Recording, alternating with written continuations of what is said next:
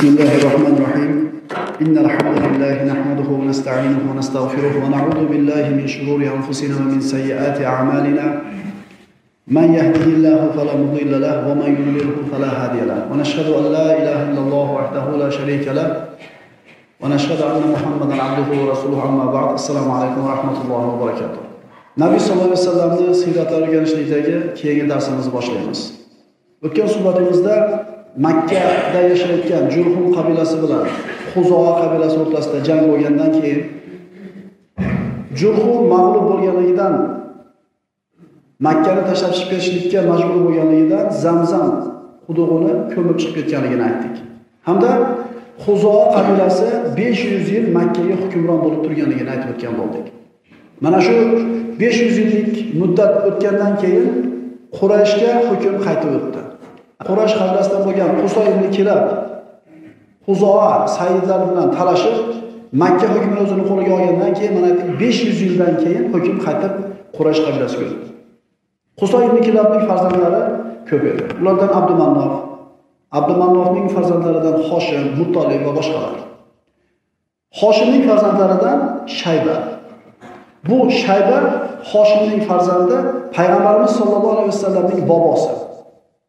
Mana biz bilganimiz payg'ambar sallallohu alayhi vasallamning bobosini ismi abdul muttolib uning o'zini asl ismi shayba bo'lgan abdul muttolib deb ismlari qolishligi tarixi quyidagicha bo'lgan.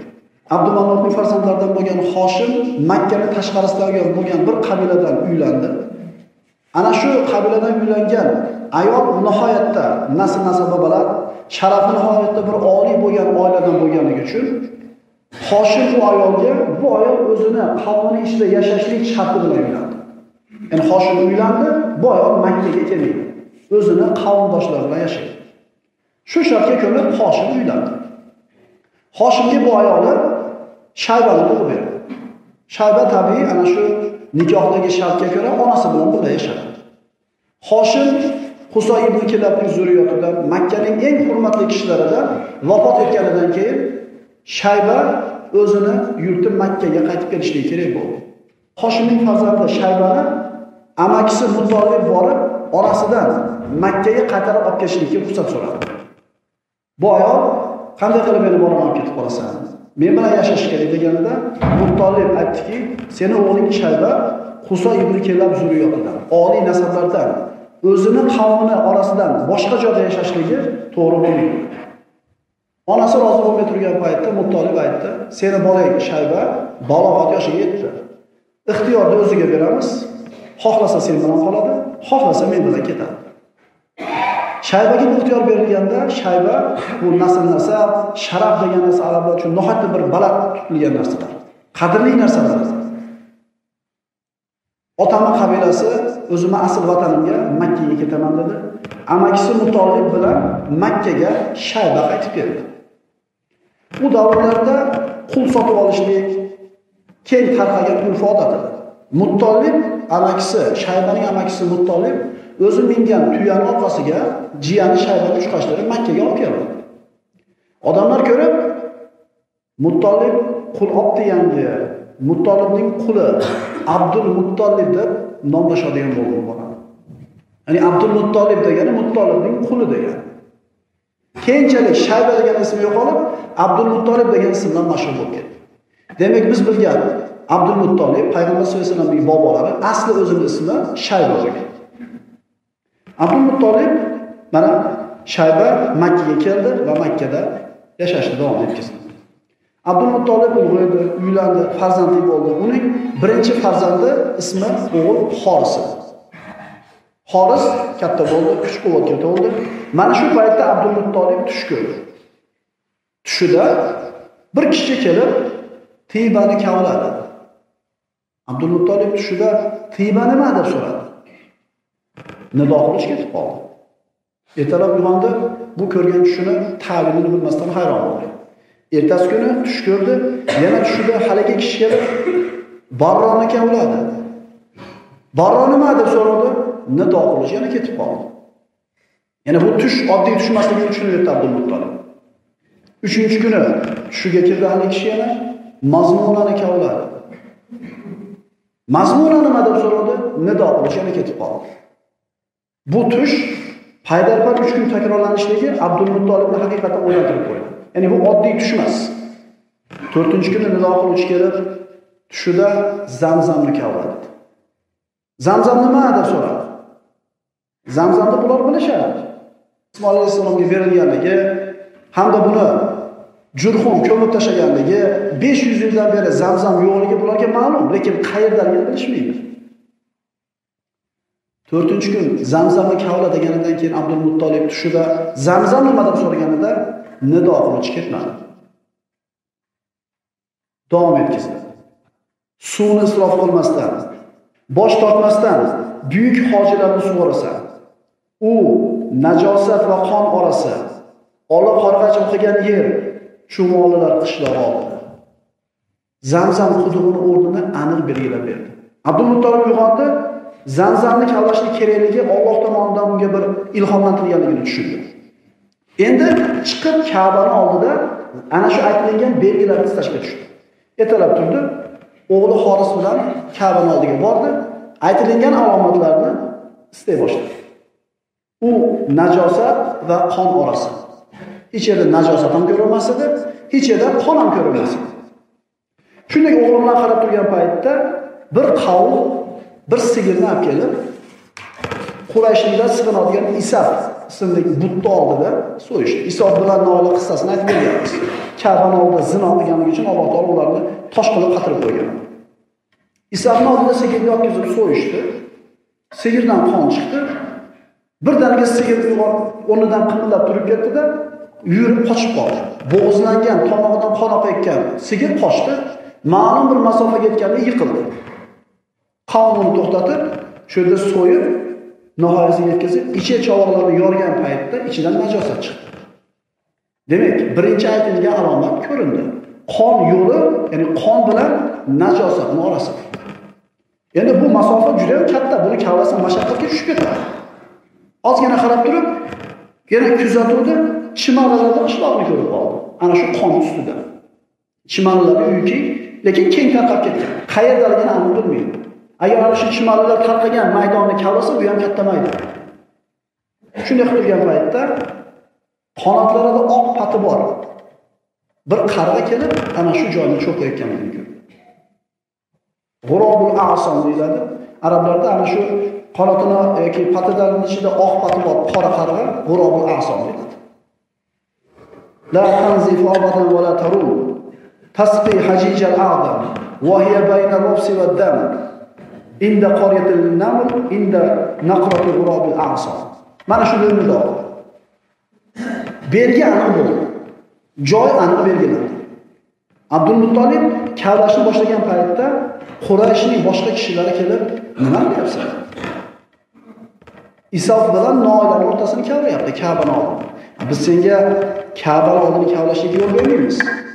Uni man qilmoqchi bo'lishgan paytda o'g'li Xorisga qarab Abdul Muttolib ularni mendan chalatib nariga turdi. Abdul Muttolibni to'saman degani o'g'li Xoris qaytarib ularni chalatib turdi. Abdul Muttolib kavlash bilan ovora bo'ldi. Kavlarkan hovuzni chetiga teriladigan toshlarga yo'ldi. Allohu akbar. Shunda qavm Abdul Muttolib istayotgan narsasini topganligini tushundida, nimani kavlayapsan deganda, Zamzamni dedi. Tek qo'yib berishdi. Kavladi, Zamzam suvi chiqdi. 500 yillik suvsizlik vaqtidan keyin Zamzam yana chiqdi.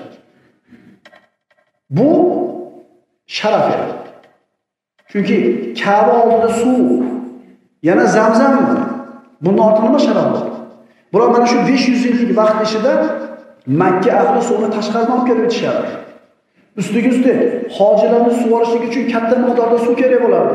Buni ham Makkani tashqarisidan olib kelishadi. 500 yillik mana shu suvsizlik mashaqqatdan keyin Ka'ba oldidan suv chiqdi. Bo'lib ham Zamzam chiqdi. Quraysh biz sherimiz senga Abdul Muttolib deyishdi. Abdul Muttolib qara sherik bo'lasizlar. Men kavladim buni, menga bildirildi dedi. Xullas Quraysh ham Abdul Muttolib ham o'jarlik qilib qarashib turishdi.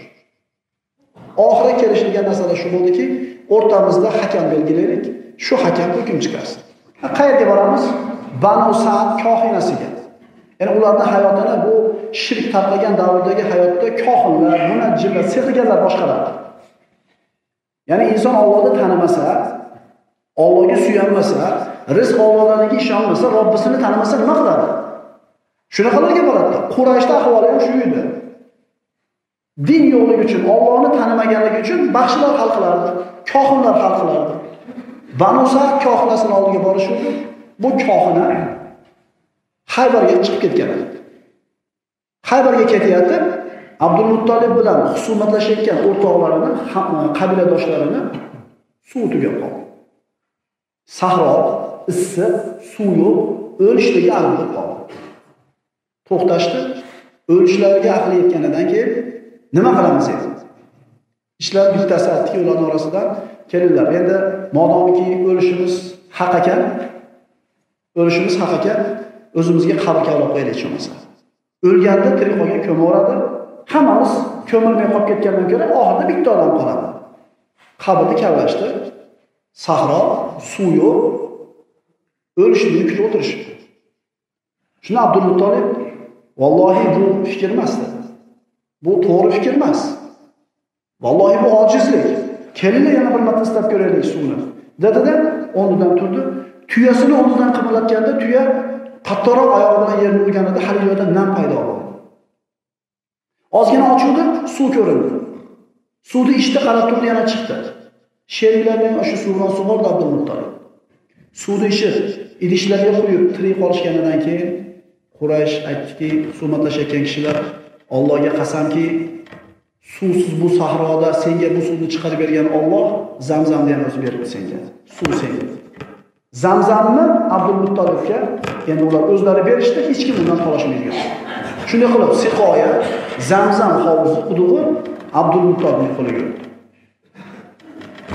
Abdul Muttolib farzandlari ko'paydi. Uni jami farzandlari nadadi 10 o'g'il, 6 qizi. Payg'ambarimiz sollallohu alayhi vasallam payg'ambar bo'lgunga qadar yashab o'tgan amakilari 5 ta edi. Payg'ambar bo'lgandan keyin tirik turgan amakilari 4 ta edi. Payg'ambarimizga vahiy keluvchi yashagan payg'ambarlari Xoris, Hijr, Muqaddam, Ziro, Zubayr. Payg'ambarimizga vahiy kelgandan keyin tirik bo'lgan amakilari Abbos, Hamza, Abu Talib, uning ismi Abdumannor bo'lgan, Abu Lahab, uning ismi Abdul Uzzo bo'lgan. Mana shu to'rtta amakisi tirik bo'lgan. Bu amakilardan ikkitasi islomni qabul qildi. Hamza va Abbos, ikkita amakisi kufrda turdi, Abu Talib va Abu Lahab. Payg'ambar sollallohu alayhi vasallam ammalari Sofiya, Ummu Hakim, Arva, Barra, Otika va Umayma. Abdul Muttolib Zamzam qudug'ini kavlayotgan paytda Quraysh uni man qilmoqchi bo'ldi. Mana aytdik. Shunda bir domla o'g'li borligidan o'zini zaif his qildi. Agar o'g'il farzandlari ko'p bo'lganida uni himoya qiladiganlarning soni ko'p bo'ladi. Shunda bir ojizlikni his qilib aytdiki, agar Alloh menga 10 ta farzand bersa, bittasini qurbonlik qilaman. Allohga shukrona qilib, o'zimni azizligimni izhor qilib, bitta o'g'limni so'yaman dedi. 10-chi o'g'il bo'lib Abdulloh tug'ildi. Payg'ambar sollallohu alayhi vasallam to'qqizta amakisi va o'zining otasi Abdulloh bilan abdulmuttolibni o'g'li o'nta bo'ldi. Bu odamlar mana Payg'ambar sollallohu alayhi vasallam payg'ambar bo'lgunga qadar arablarning tarixini 7 darsda men o'qib gaplashyapmiz. Nima uchun? Vahiy kelganda ular biri qabul qildi, biri qabul qilmadi. Qabul qilgani mahkam turdi, qabul qilmagani ham mahkam turdi dushman deydi. Toki arablarning tabiatini bilib qo'yaylik, qanaqa insonlar bo'lgan ular. Nazarda ko'ring, 10 ta o'g'li bo'lsa, bittasini so'yaman deyapti. Ha endi jahl usta aytib qo'ygan bo'lsa kerak-da. Keyin qanday so'yadi deymiz. Bular gapida turgan xalq bo'lgan. Shuning uchun Abu Jahlga payg'ambarimiz sollallohu alayhi vasallam bitta kalima aytib qo'y. La ilaha illalloh kalimasini aytib qo'y, najotga yetishasan desa, ey Muhammad, 10 ta kalima ayt boshqa. Qaytaraman, lekin buni qaytarmayman dedi. Nimaga? Chunki iloh kalimasini yaxshi tushunardi ular. Agar bu kalimani aytib qo'ysa, hayotini tubdan o'zgartirish kerak. Bular gapirgandan keyin javob bergan. Aytib qo'yar ekan, bir gap bo'lar bo'lmagan. Abdul Muttolib gapiga javob beradigan arablardan. 10 ta bo'ldi bolasi.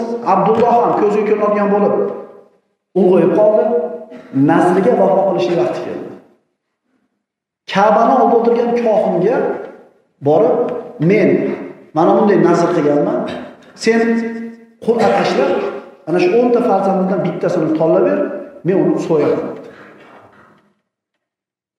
Qur'alarni yozishliklarni yozdi tashlayapti abdul muttolib duo qilyapti. Parvardigor abdullohdan boshqa qasni sizga tushsa mayli faqat abdullohga tushmasin chunki kenjasi eng yaxshi ko'rgan farzandi deb turuvdi birinchi bo'libcha kimga tushdi? Abdullohga tushdi. Bular aytdik erkak bo'lgan gapida turgan bular. Abdullohni ertalab so'ygan chiqib ketyapti. Qo'lida pichoq abdullohni so'ygan chiqib ketyapti. Quraysh ey abdulmuttolib nima qilmoqchisan? Ha men nazr qilganman so'yman gap tugadi gap yo'q to'xta so'yma yo'q so'yaman tortdi tortdi abdullohni shilib qo'ydi boshini. Abdulloh ashaj deyiladi tilib qo'ydi pichoqni ey abdulmuttolib bunday qilmagan. agar sen so'ysang arablarda sunnat bo'lib qolmasin bu ish. O'n to'g'il ko'rgan bittasini so'yishga to'g'ri kelmasin. Qo'y bunday qilma dedi men nazr qilganman so'yaman dedi. Mushkulani qanday hal qilamiz? Yana kohinga boramiz. Yana u bandu saat kohinasiga borishdi. Borib turib dardini aytishdi. Bu so'yaman deb nazr qilgan biz so'ydirmaymiz deyapmiz. Nima qilaylik? Kohin aytdiki oranglarda bitta odamni ikkinchi odam o'ldirsa diyasiga qancha to'laydi dedi o'nta tuya. Abdulloh bilan o'nta tuya o'rtasida qur'a tashlaylar tuyani qur'asi chekka tushsa tuyani so'ylar abdulloh omon qoladi. Agar abdullohniki tushsa o'nta tuyani ajratinglar yana tashlaydilar tuya bilan abdulloh o'rtasida qur'ani abdulloh tushsa yana o'nta tuyani qo'shinglar xullas to abdulloh qutulgunga qadar chekni tashlaverdi qaytib kelishdi. O'nta tuya bilan abdulloh o'rtasida chek tashlashdi birinchi marta olishganida abdullohni cheki tushdi. O'nta tuyani ajratishdi qaytadan olishdi.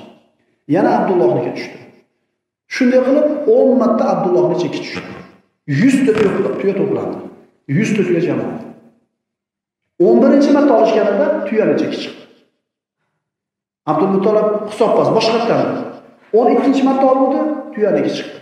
O'n uch marta olganda tuyaniki chiqqandan keyin o'n marta abdullohni chekib uch marta tuyani chekishgandan keyin bo'ldi roziman dedi. Yuzta qurbonlik tuya so'yilib abdulloh tirik qoldi. Payg'ambar sallallohu alayhi vasallam aytadilar ana ibn zabihay men ikkita qurbonlikka atalgan kishini farzandiman. Birinchisi bobolari ismoil alayhissalom qurbonlikka olib chiqib so'yilib o'rniga qo'chqor so'yilgan so'yilmasdan. Ikkinchisi o'zini otalari abdulloh ibn abdul muttolib yuzta tuya badal evaz berdi, abdulloh tirik qoldi. Demak shunday qilib payg'ambarimiz sallallohu alayhi vasallam otalari abdulloh tirik qoldi. Abdulloh ulg'aygach abdul muttolib uni uylantirdi. Makkadan uylantirmadi. Madinaga ya'ni u paytda yasrib deyilardi yasribga olib borib vahibning qizi ominaga uylantirdi. Bu vahib ham huso ibn kalabning zurriyotlariga borib taqalar edi ominaning onasi esa mana madinalik yasribdan. Demak payg'ambarimizni sallallohu alayhi vasallam onalari ham ismoil alayhissalomning sulolasidan oliy nasab kishilardan. Shuning uchun payg'ambar sallallohu alayhi vasallamni nasl nasabiga hech qanday ta'na alomat bo'lishi mumkin emas. Yasribda uyladi makkaga olib keldi. Omina payg'ambar sallallohu alayhi vasallamga homiladorligi ikki oy bo'lgan kunda otasi abdulloh vafot etdi. Payg'ambarimiz sallallohu alayhi vasallam hali tug'ilmasdan turib yetim bo'ldi. Hali onasini qornida turganda otasidan ayrildi. Payg'ambarimiz ota degan so'zni gapirmagan omina nabiy sallallohu alayhi vasallamga homilador bo'lib turar ekan tug'ishligidan avval tush ko'rdi. Avvalambor ominani homilador bo'lishligi boshqa ayollarni homilador bo'lishligidan farqli bo'ldi. Homilador ayollar chekadigan mashaqqat qiyinchilik og'ir alamlarni birortasini sezmadi. Nihoyatda yengil bo'ldi homilasi. Tug'ishligi ham xuddi shunday bo'ldi. Hech qanday bir mashaqqatsiz mehnatsiz. Omina payg'ambarimiz sallallohu alayhi vasallamni tug'ishligidan avval tush ko'rdi. Tushida bir o'g'il tug'ishini ko'rdi. Va bu bola bilan birga butun dunyoni mag'rib va mashriqni yoritadigan bir nur chiqqanligini ko'rdi. Hamda tushida omina o'zi mushrik bo'lganiga qaramasdan ular mushrik bo'lgan. Quyidagi duoni o'qidim. U'iduhu billahi al-wahid min sharri kulli hasid. Mazmuni mushrik bo'lgan holatda aytayotgan duosi tushida Yagona bo'lgan Allohdan uni har qanday hasadgo'yning yomonligidan panoh berishini so'rayman. Ya'ni mushrik o'zi. Lekin bu duosi muvahhid Allohni yakka deydigan kishilarning duosi. Eng roji so'zlarga ko'ra Payg'ambarimiz sallallohu alayhi vasallam fil yilida tug'ildi. Fil deb Abroha ashram Ka'bani buzishlik niyati kelganida ilohiy mo'jiza bilan uni Alloh halok qilgan kundan boshlab yil sanashgan filili Robiyul Robiul avval oyining 12-sida dushanba kuni payg'ambarimiz sollallohu alayhi vasallam dunyoga keldi. U zotning dunyoga kelishida juda ko'p muashirot, mubashirotlar bo'lgan. Nabiy sollallohu alayhi vasallamning buyukligi u zotning tug'ilayotgandagi bo'lgan mo'jizalar bilan emas. U zotning buyukligi olib kelgan manhaji bilan, risolati bilan, hidoyati bilan, nur bilan. Lekin tug'ilishligidan avval sodir bo'lgan mana shu muashirotlarni, mubashirotlarni aytib o'tamiz. Hasson ibn Sobit roziyallohu anhu payg'ambar sollallohu alayhi vasallamning shoiri. Bu kishi Madinalik bo'lgan. U kishi aytadi: Nabiy sollallohu alayhi vasallam tug'ilgan kunda men yahudiylarning qal'alaridan birida turardim. Ana shu qal'alarning birida turardim, 7 yoshda bo'ladi bu kishi. Shunda yahudlarning rohiblaridan biri bir qal'aning ustiga chiqib turib, "Ey yahudlar, ey yahudlar, Ahmad ismli nabiy tug'ilgandagina zohir bo'lib ko'rinadigan qizil yulduz ko'rindi kechqurunda. 7 yashar Hasson ibn Sobit mana shu so'zini eshitdi. Yahudlarning kitoblarida Payg'ambar sollallohu alayhi vasallam haqida, Nasroniylarning kitobida ham Payg'ambar sollallohu alayhi vasallam haqida ma'lumotlar ochiq ravshan bayon qilingan edi. Ey Muhammad alayhisalom, ular sizni deydi Alloh taolo. O'zlarini o'g'il farzandlarini tanigandan ham yaxshiroq tanishadi. alomatlari, tug'ilishligi, sifatlari bayon qilingan. Nima iymon keltirishmagan? Yahudlar o'zlaridan chiqishligini kutaradi. Yahudlardan bo'ladi deb kutaradi. Arablardan chiqqanligi ular o'jarlik qilishdi, kofir bo'lishdi. Omina Nabiy sollallohu alayhi vasallam tug'ishligida hech qanday mashaqqatni sezmadi. Tug'ilishligi nihoyatda yengil bo'ldi. Payg'ambar sollallohu alayhi vasallam tug'ilganida yerga qo'liga tayangan holatda tushgan. Qo'li bilan bir siqim tuproq ushlab osmonga boshini ko'targanligi rivoyat qilinadi. Hamda payg'ambarimiz sollallohu alayhi vasallam xatna qilingan holatda tug'ildi. Kindik tomiri kesilgan holatda tug'ildi. Bu Alloh taoloning bir payg'ambar sollallohu alayhi vasallamga bergan bir kalomatlaridan. Arablarning odatiga ko'ra qozon yoqib qo'yishadi ustiga. Omina mana shunday tush ko'rdi. Tug'ilishligida mana shunday ishlar bo'ldi. Birinchi bo'lib bu nabirasini bobosi ko'rsin deb turib, ustiga qozon yopib qo'ydi. Ya'ni arablarning sayyidlarini bolasi. Qurashning oqsoqolini nabirasi. Ismoil zurriyatidan. Mana shunday bir kalomatlar bilan, ajoyibotlar bilan tug'ilgandan keyin bu bolani birinchi bo'lib bobosi ko'rsin dedi, qozon ustiga dimlab qo'ydi. Abdul Muttolib mana shunday bir karomatlar bilan nabirasi tug'ilganidan keyin aytdiki, Allohga qasamki, bu bolamda bir ulug' ish bor. Keldi, nabirasini qo'lga olaman deb qaraganda, qozon qoq o'rtasidan bo'linib, ikki tomon yotgan Payg'ambarimiz osmonga qarayotgan. Bu nabirasini ko'tardi, hali nom ism qo'yilmadi. Ko'tarib, Ka'batullohga olib kirib, Alloh taologa hamd sanolar aytdi. Hamda ismini Muhammad qo'ydi. Bu vaqtgacha Muhammad ismi arablar orasida qo'yilgan emas edi. Rivoyatlar qilinadi, shayton 4 marta chinqirab o'kirgan, alam qilganligida. Birinchisi Allohning daryohidan quvilganida. Ikkinchida jannatdan yerga tushirilganida. Uchinchida Payg'ambar sollallohu alayhi vasallam tug'ilganda mana shunday dodda baqirgan. To'rtinchisi Fotiha surasi nozil bo'lgan. Alloh Muhammad ismini qo'yishligini tarixi quyidagicha bo'lgan. Abdul Muttolib Payg'ambar sollallohu alayhi vasallam tug'ilmasdan turib o'zini 3 ta hamrohi bilan Shomda safarda yurardi. Shomda yurar ekan Yahudlarning rohiblaridan biri kelib, "Qayerdan bo'lasan?" "Makkadan bo'lamiz." Arab jazirasidan dedi. Oxirgi zamonda nabiysi chiqadi, bitta nabiy qolgan chiqadi dedi. Xullas, ko'p narsani gapirdi. Bu to'rala kishi uni ismi nima deb so'raganida, bu rohib Muhammad deb javob berdi. hali bu vaqtgacha aytdik, hali arablar o'rtasida Muhammad ismi qo'yilmagan. Bu to'rala kishi Makka ga qaytib kelgandan keyin niyat qilishdi. Alloh o'g'il bersa, albatta Muhammad deb qo'yamiz deydi. Abdul Muttolibning farzandlari endi katta bo'lib qolgan, farzand ko'rmay qo'ygan edi. U niyat qildi, o'g'illarimdan birortasi o'g'il ko'rsa, ismini Muhammad deb qo'yaman degan. Mana shu vaqtda payg'ambarimiz Muhammad Mustafa sollallohu alayhi vasallam tug'ildilar. Bu qolgan uch kishi Sulaymon ibn Mujashir, Uhayha ibn Hallaj va Hamro ibn Robiya. Bular ham kelib o'g'il farzand ko'rishdi, ular ham Muhammad deb qo'yishdi farzandlarini. Nabiy sollallohu alayhi vasallam davrida koinotda juda bir katta bir o'zgarishlar, ajoyibotlar bo'ldi. Ana shu davrdagi eng qudratli bo'lgan Fors mamlakatini qasri titradi. Mana shu titrashlikdan 14 ta iyon, bizda tilda mana ayvon deyiladi. 14 ta balkoni yiqilib sindi. Ming yillardan beri o'chirmasdan sig'inib kelayotgan o'ti o'chib qoldi. Hamda forslar, majuslar muqaddas deb sanaydigan Sava nomli ko'li tayyor suv kirib ketdi.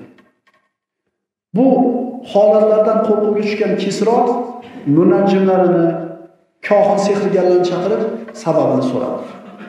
Mana Jin surasini tafsiriga bir murojaat qiladigan bo'lsak, payg'ambarimiz sollallohu alayhi vasallam payg'ambar bo'lib kelgunga qadar jinlarning ma'lum bir toifalari osmonda bir joyga chiqib o'tirib, Lavhul Mahfuzdan xabardor bo'lgan farishtalarni o'zaro suhbatini eshitib, yerdagi sehrgarlarga yetkazib berishadi. Ana shu munajjim sehrgarlardan so'raganida ularga jinlar mana shu javobni berishdi. Alloh taolo Qur'onda aytadi: أستعذ بالله va كنا نعود منها مقاعد للسمع فمن يستمع الآن يجد له شهابا yajid. Ha, demak jinlar eshitar ekanda farishtalarni gapini. Demak sehrgarlar ertaga nima bo'lishini bilar ekanda degan xulosa kelib qolgan bo'lsa, uydagi oyatga quloq solamiz. Alloh taolo aytadi: Albatta bizlar ilgari osmondan ayrim joylarga farishtalarning so'zlarini o'g'rincha eshitib olish uchun o'tirib olar edik. Jinlar gapiryapti. Endi hozir, ya'ni Muhammad alayhisalom payg'ambar qilib yuborganlaridan keyin esa kim qaysi jin o'g'richa eshitar bo'lsa, uni kuzatib turgan bir uchar yulduzni topadi. Ya'ni endi eshitib tushadigan bo'lsa, bitta yulduz kuydirib tashlaydi uni deyapti. Payg'ambarimiz payg'ambar bo'lguncha jinlarda ba'zilari farishtalarning gapini eshitib, yerdagi sehrgarlarni yetkazib qo'yishadi.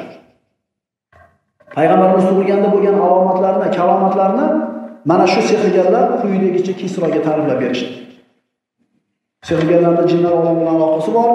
Jinlar ularga bu ishlarning sababini aytib berdilar. Ular aytishdiki, bu hodisalarning bari bir nabiy tug'ilganligi sababli bo'ldi.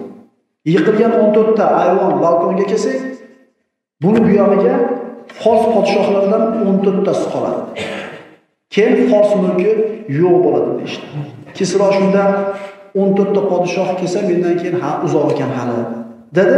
Lekin mana shu davrda podshohlik qilgan Kisro vafot etgandan keyin 4 yil ichida mulkni talashib 10 ta Kisro almashdi. Bular bari payg'ambarimiz sollallohu alayhi vasallamni tug'ilishlik arafasida bo'lgan, tug'ilgan paytda bo'lgan ajoyibotlar. Inshaalloh keyingi suhbatimizda payg'ambar sollallohu alayhi vasallamni ulg'ayishligi va sut emishlik tarixini o'tgan bo'lamiz. أقول قولي هذا وأستغفر الله لي ولكم السلام عليكم ورحمة الله وبركاته. عليكم ورحمة الله وبركاته. عليكم ورحمة الله وبركاته. عليكم ورحمة الله